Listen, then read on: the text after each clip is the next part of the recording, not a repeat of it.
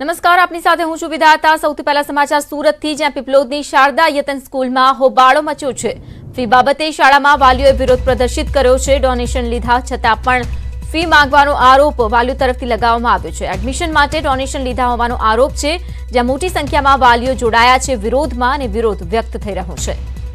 તો આ પહેલા પણ સુરતમાં વાલીઓનો વિરોધ સામે આવી ચૂક્યો છે. વધુ એકવાર વાલીઓએ વિરોધ પ્રદર્શિત કર્યો છે. પીપલોદની શારદા યતન સ્કૂલ વિરુદ્ધ.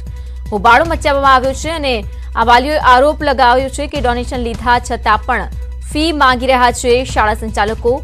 શાળા તરફથી ફી માંગવાને લઈને હવે વાલીઓનો રોષ આસપાને પહોંચ્યો છે. આ અંગે વધુ માહિતી આપશે સંવાદદાતા કીર્તેશ. કીર્તેશ, વધુ એકવાર, વાલીઓ રોષે ભરાયા છે. શું કહી રહ્યા છે વાલીઓ? શું છે આખી ઘટના?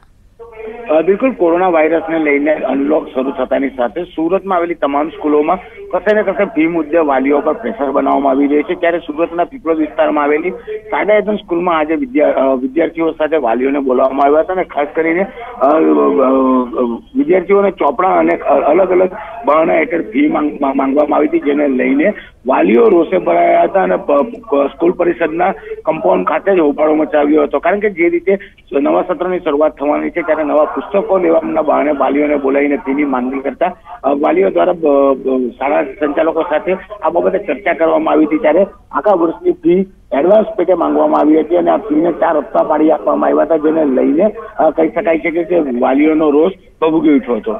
કીર્તેશ, પરંતુ વાલીઓ તો એવું પણ કહી રહ્યા છે કે ડોનેશન લેવામાં આવ્યું છે, છતાં પણ હવે ફી માંગવામાં આવી રહી છે, ઉઘરાવવામાં આવી રહી છે.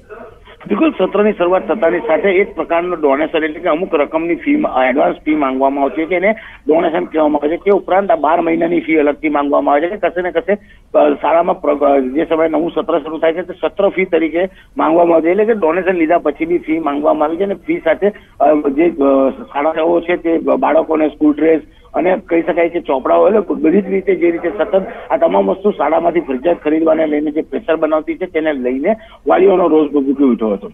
કીર્તેશ, આભાર તમામ માહિતી બદલ.